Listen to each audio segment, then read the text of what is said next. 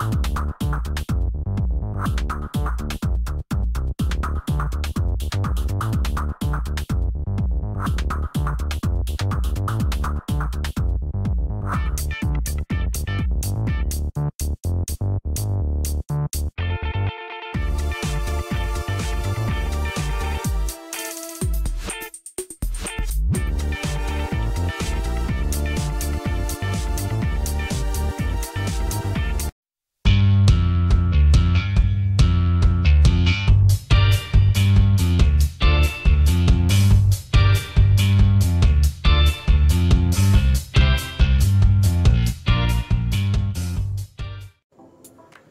Hai YouTube, saya Sean daripada Blaster Mania. Terima kasih kerana sudi bersama kami di channel Blaster Mania ya.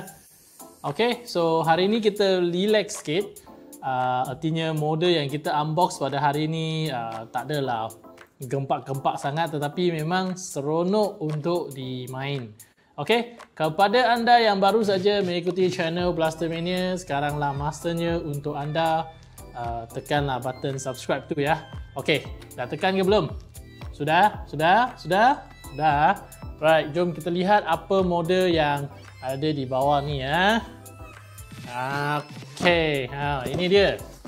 So model daripada STD, saya rasa model ni dah lama lah di pasaran cuma saya tak adalah perasan sangat model ni. Cuma biasa saya fokus kepada STD yang M1911.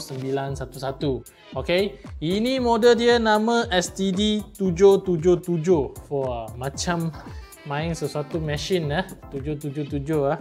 Alright, jom kita lihat 777 ni apa benda dalam ni. Tada. Okay, ha. Macam ni. Ada user menu lah sikit. So kalau anda memang orang lama, so anda memang tahulah rupa dia ada ni uh, panggil apa? Top fit. Ha, macam penball lah sikit top fit lah. Ok dia ada bagi botol dia ni. Ha, botol inilah tempat anda masukkan gel ball. Ok lepas tu dia ada bagi laser. Aduh, ha, laser, laser, ha, laser, ui, ui, oh, laser, okay? Dia ada bagi laser, laser ni attachment lah. Dan dia ada bagi silencer, ini pun memang dummy lah, silencer dummy. Ada bagi barang yang sangat penting. So ini cermin mata keselamatan, kena pakai setiasa semasa main uh, gel blaster ataupun di kawasan permainan lah. Dan dia ada juga yang ni consider muzzle lah. Ni dengan ni boleh lah. Ini yang pendek ni yang panjang. Sebenarnya kalau anda pernah lihat uh, unboxing untuk STD M1911, benda ni sama saja. Cuma yang ini bukanlah 1911. Ini uh, clock lah, clock. Okay. Jenis clock lah. So dia memang ada blowback sikit. Ha, dia gerak-gerak nanti. Ada Xiaobo 7 ke 8 mm, dua pack kecil dalam 1000 biji. Ada charger dengan ada dia punya battery. Battery 7.4 watt kecil je. Alright. So ini kita letak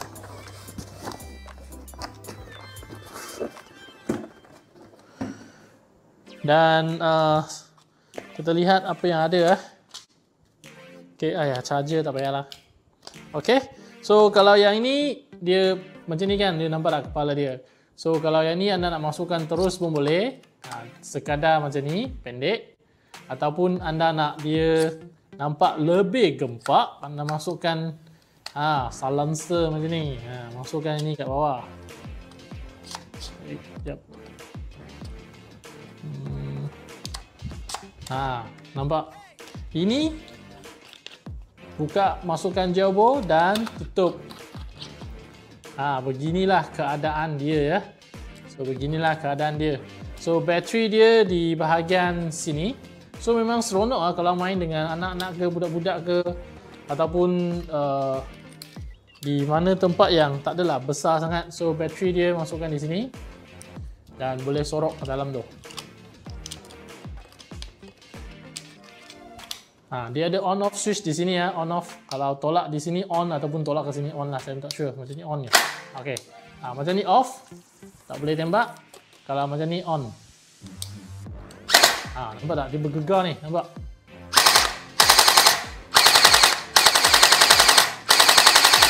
Oh, bunyi dia boleh tahan ah.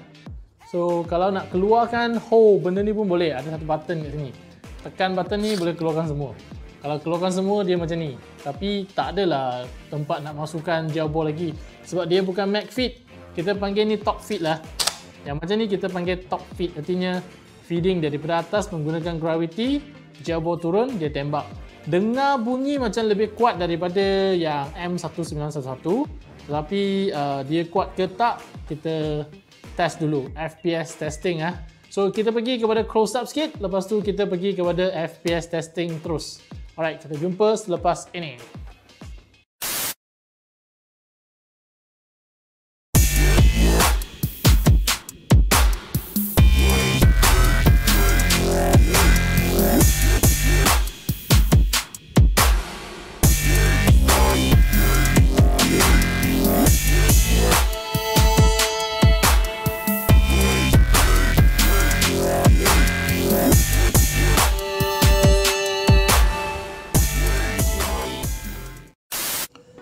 Okey, so inilah keadaan dia selepas masukkan jabo. Anda masukkan jabo ke dalam botol ini. So jabo ni memang 7 ke 8 mm ah. Kalau tekan aduh keras dia pecah, tak bahaya ya. So nak masukkan jabo senang saja. Tonggang tonggekkan ataupun terbalikkan plaster macam ni. Lepas tu ikat. Dan macam ni. Dah.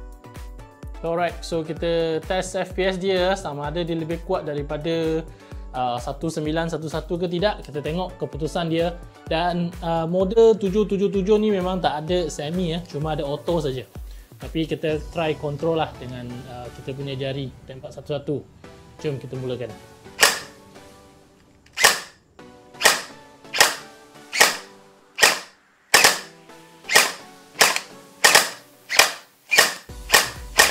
Uh, okay, cukuplah. Average dapat 140. Consider okay lah. Saya rasa M1911 sebelum ni dapat 120 ke ataupun hampir sama. Saya pun dah lupa lah. Kalau korang nak tahu, uh, try lah. Tengok balik ya. Kita punya review pasal M1911. Alright, kita jumpa balik di belat dalam. Okay, so kita dah balik pada sini dan anda dah lihat performance dia kan? 140 average. Consider ok lah ni. Dan dia ada blowback kan? Nampak macam lebih menarik lah.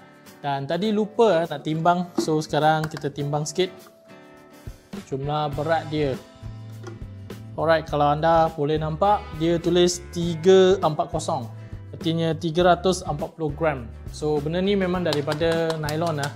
Oh benda ni nylon plastik lah. Ok dan memang sesuai lah untuk main dengan anak-anak ke ataupun kalau anda nak guna sebagai side arm pun memang boleh. Ha, dia pendek macam ni. Cuma adalah ni botol ke atas ni nampak macam kurang menarik. Tetapi sebenarnya seronok juga main dengan dengan uh, gel blaster macam ni. Kalau ikutkan uh, info kepada anda semua gel blaster pertama Sean adalah STD M1911 yang saya pernah review dulu-dulu tu.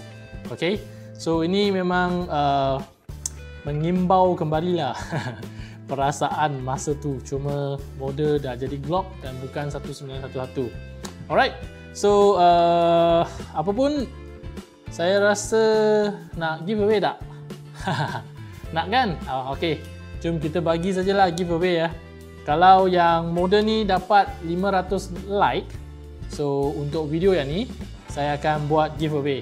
Dalam seminggu lah. Kalau seminggu ni dapat 500 like, so saya bagi giveaway ya. Alright. Dan anda komen lah nak di bahagian bawah. Kepada anda yang belum subscribe, subscribe sekarang. Tekan butang lonceng, uh, tekan like dan komen nak di bahagian bawah ya jangan ketinggalan lah walaupun nampak tak seberapa kan tapi memang seronok tau dapat uh, plaster macam ni pun. Ok uh, kita jumpa lagi pada video akan datang. Saya Sean daripada Blaster Mania. Bye bye